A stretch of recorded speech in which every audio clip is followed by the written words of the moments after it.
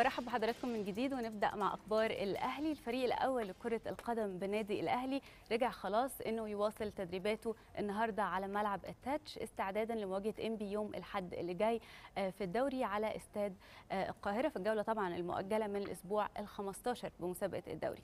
فايلر كنا عارفين إن هو منح اللاعبين إمبارح راحة سلبية من التدريبات في إطار طبعا الجدول الموضوع للاعبين استعدادا لعودة الدوري. طبعا إحنا عارفين إن الأهلي المفروض يختتم تدريباته مساء السبت وفايلر هيعلن عن قائمة اللاعبين اللي هتتواجد في معسكر مغلق بأحد الفنادق الكبرى. طبعا استعدادا لمواجهة إنبي. ده يخلينا نروح لسؤالنا المستمر مع حضراتكم لغاية قبل مباراة إنبي إن شاء الله.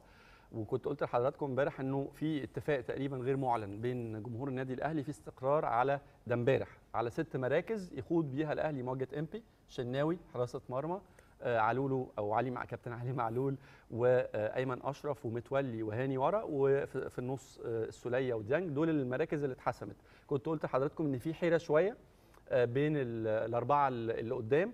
وأعتقد إنه أجاييه حسم تواجده بشكل كبير جدا. في منافسة بين الشيخ ووليد سليمان وفي منافسة بين جيرالدو ومروان محسن على المركزين الباقيين. وقفشة الحقيقة كابتن مجدي قفشة دخل في الصورة بشكل كبير.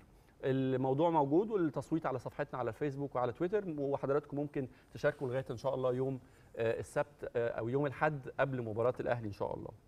نروح يا نروح لمحمد شريف نروح لاعب الفريق الأول لكرة القدم بالنادي الأهلي والمعار لصفوف إنبي لنهاية الموسم الحالي عن مباراة الفريقين. قال إن هو مش هيغيب عن مباراة الفريقين لأنه في بند في عقد إعارة اللاعب لصفوف إنبي بيمنع مشاركة اللاعب لو الفريقين هيتقابلوا مع بعض.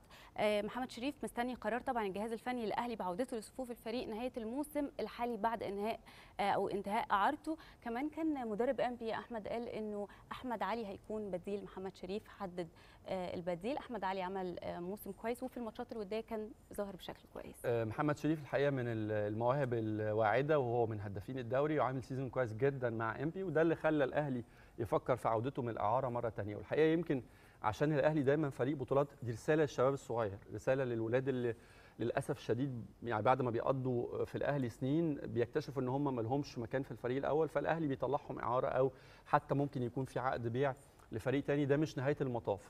بتبقى فرصة ليك إنك أنت تطور من أدائك وتطور من مستواك وأكيد الخامة كويسة. ما دمت كنت في يوم من الأيام بتلبس تيشرت النادي الأهلي. شفنا محمد شريف الحقيقة قدم season كويس جدا وإن شاء الله راجع الأهلي ويتألق ويضيف للفريق يكون إضافة للفريق عندنا ناس كتيرة جدا. الحقيقة عندنا ولد أنا بشوفه الحقيقة ممكن يكون مستقبل الكره في مصر أحمد حمدي اللي بيلعب في الجونة أحمد ياسر ريان. الحقيقة الاثنين دول تحديدا في رهان كبير جدا. أنا أعتقد إن الاولاد دول لو ركزوا هيكونوا إضافة كبيرة جدا للأهلي ومنتخب مصر إن شاء الله. بمناسبة المباراة بتاعت يوم الأحد إن شاء الله الجهاز الطبي للأهلي قال إنه كابتن حمدي فتحي لاعب الفريق جاهز للمشاركة في مباراة إمبي.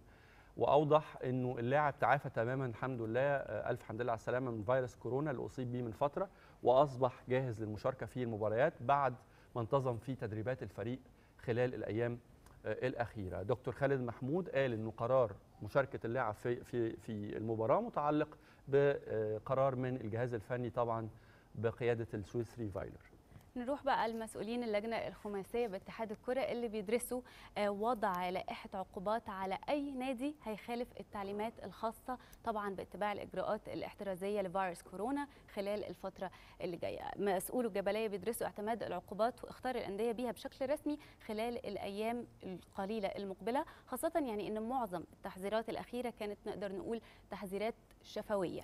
وقرار الدراسة ده جايب أنه وضع وضعت اللائحة غرامات أو عقوبات على الأندية بعد الإصابات الكثيره اللي طبعا ضربت عدد من فرق الدوري الممتاز بشكل مفاجئ وعلى رأسها نادي الإنتاج الحربي اللي تعرض لعدد 18 إصابة مرة واحدة وتم تأجيل مباراته أمام نادي مصر اللي كانت المفروض تتلعب يوم السبت اللي جاي علشان يستكملوا المسابقة بشكل طبيعي.